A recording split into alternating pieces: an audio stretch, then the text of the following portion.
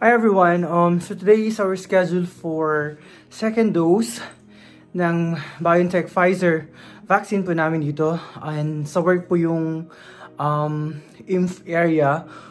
Uh, and uh, supposedly, 12 o'clock po yung tawag dito, yung schedule. Kaso nga lang, um, in-adjust nila, dapat 10.45 nandun na kami sa Haim. So, kailangan ko magmadali and pumunta na doon. Kung hindi, wala na. Wala po tayong second dose. Kaya, pupunta na po ako doon.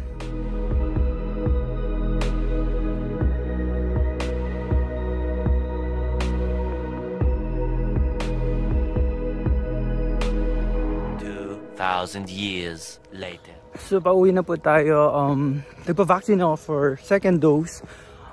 And, uh, yun, um, sinabi ko sa doctor na nagva-vaccine if kailangan ko ba magpa-vaccine kasi nag-positive ako, di ba? Sabi na kanya. Wala naman pa silang rules about that one. So yun, kapag pa-vaccine ako, pero kailangan ko i-observe yung sarili ko for the next days. Kasi nga, di ba, nag, dahil positive ako before and may mga symptoms and they don't have any information about that one. Pero, vinaccine pa din nila ako. And, yeah we will see. Tingnan natin on the next days. Pauwi na ng bahay. So yan, um, tuloy natin chika later on. A few moments later. Hi everyone! Welcome back to my channel. It's me again, Boom Sanders Wanderlust, na lagi nagsasabing, Hello love! Kamusta ka? So today po, ang, ang tawag dito, um, ngayon po yung schedule po ng vaccine po namin sa work. And as you know, um, two weeks ago, um, ako po ay nag-positive sa COVID. And uh, after five days na na-test na ako na negative, um, so nakuha ko po yung second dose po namin. So ayan. Um, hindi na po naka hindi na po ako nakapag take ng video sa work kasi nga um, bawal and uh, hindi na ako nag-take ng risk kasi as in baka mapagalitan pa ako doon. And mabilisan lang naman yun. Um, papakita lang namin yung yellow card namin. Wait lang, pakita ko sa inyo. So, aray. aray. Super bilis. Um, so, tawag dito, um, normally, meron kasi kaming um, info centrum dito sa um, sa Germany where doon talaga kami kailangan magpa-vaccine. Pero since nagtatrabaho ako sa Heim, um, sila na po mismo yung pumupunta doon sa sa Heim po kung saan ako nagtatrabaho. So meron po kaming ganito and ito po yung record po namin. Um, nandito po yung ayan, first vaccine ko, the second vaccine. Ayan, um, tawag dito. Um, nandito lahat yung record namin, yung mga vaccines pero yung COVID vaccine pa lang yung nailalagay nila dito since hindi pa naman ako nagpapa-vaccine, di ba? Dito sa Germany. And uh, yun nga, um, medyo kung mga aray ko, wait lang. Sa mga nagtatanong bakit uh, ako nagpa-vaccine, ayan, tinanong ko din yan sa doctor.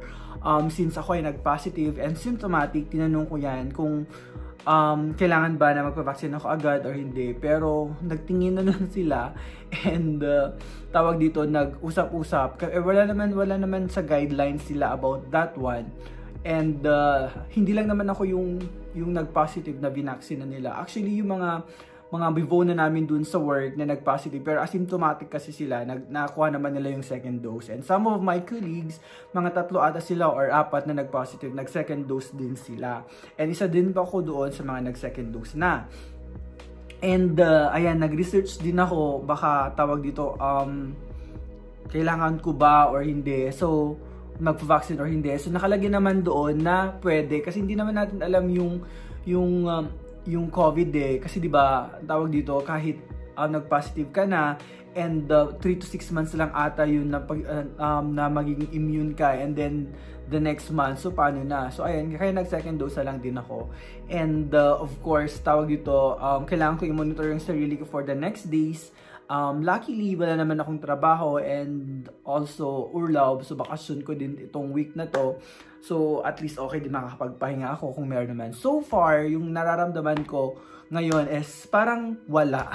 wala. Kaya sabi ko nga, naturukan ba ako? So, chinek ko, meron naman. Meron naman needle, saka meron naman konting blood na nandun. So, Um, kasi yung first dose, um, after few hours, few minutes, medyo tawag dito masakit dito mo, hindi hindi hindi, hindi, mo pa may, may taas-taas. Pero this time, um, wala wala naman masyadong sakit yung yung left shoulder ko. So yun lang, um, um, sana uh, tawag dito um, lahat po tayo ay makakuha ng vaccine para kahit hindi man normal yung life natin na may ibalik eh, makalabas man tayo, makapag-mall, o di ba ang tawag dito, um, magkaroon tayo ng bagong buhay sa bagong mundong COVID na to. Pero kailangan talaga natin palakasin yung immune system natin. Kasi hindi naman, hindi yung, hin, ang tawag dito, hindi porke nakapag-vaccine na tayo, hindi na tayo madadapuan ng COVID. Meron pa akong katrabaho, naka second dose, and Pfizer pa yon nag-positive pa din siya. So, ang gusto ko lang sabihin, ang tawag dito, sumunod po tayo kung ano po yung sineset po ng government, yung mga rulings po nila, kailangan po natin yung sundin. And of course, um, alagaan po natin yung mga sarili po, po natin. Ah, o, tayo, wala po tayong comorbidity, wala po tayong ibang sakit, pero paano po yung mga matatanda, ba? Yung mga matatanda, yung mga immuno, ang tawag dito, yung meron mga other comorbidity, yung mga, mga um, tawag dito, na sa risk group, 'di ba? Kailangan natin silang protektahan. Hindi porket ang um, bata tayo, ayan, nako asymptomatic pwede naman. Nako, ang tawag dito mahirap po. Ayan, uh, oo, madami po talaga mga asymptomatic cases.